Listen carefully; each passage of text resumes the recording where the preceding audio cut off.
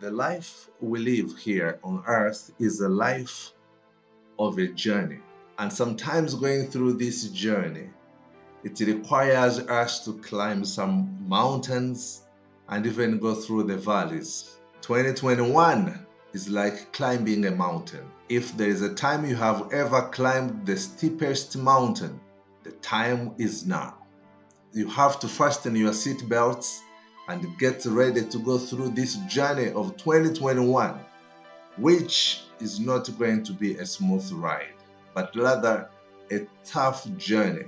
But the Bible says those who will wait to the end, or those who will keep their faith to the end, shall be saved. This is the time for you to reconcile with one another. This is a time for you to reconcile with God. Because guess what? We are in end times. And this is what the Bible told us. God bless you.